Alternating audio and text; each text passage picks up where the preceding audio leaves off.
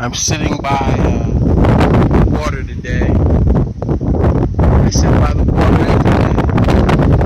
I'm going to give a little short report. Uh, it's come to my attention that the pagans, the pedophile pagans of the island, they have used Facebook to want to uh, put a hit out on me because if you look there, you, you, you see the pier. There, there's a pier that I allow my service animals to exercise off of, to express themselves and, and, to, and to learn new techniques and training.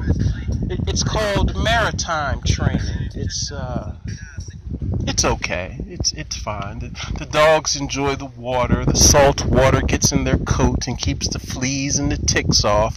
Not grown ticks, but small ticks. The the larvae when they lay their eggs. So the pagans, back to the pagans, they, they, they, they want to, to hire a hitman on the island to, to kill me. And there was a kind Rasta family, and they uh, spoke kind about me on Facebook. And it seems that when the kindness came over the net, they uh, threatened the family of this kind woman to kill her and her family because they spoke kind of me.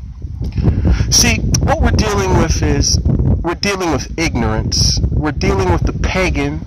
We're dealing with the children of Pan, the ones that enjoy Saturnalia, the ones that enjoy Father Time, Father Christmas, Santa Claus, Satan, Lucifer, uh, Apollo, Hermes, Detromaitis, all these Greek and Roman deities of homosexual nature. And they are here on paradise, paradise, here in the Virgin Islands. And they, they only want to bring their ignorance to my doorstep, which is fine.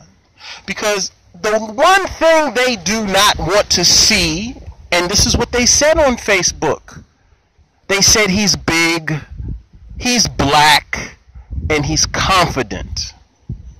These aren't my words, these are the words of the pedophile pagan, the Homo erectus pagan pedophile that has always been around.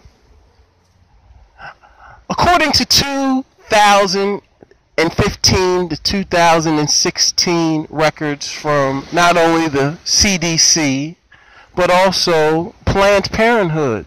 The melanated queen has aborted 41 million babies. That's not my numbers. So it seems that children in white supremacist lands across the world, especially in Babylon, are now being single handedly destroyed by the single household mother serial killer.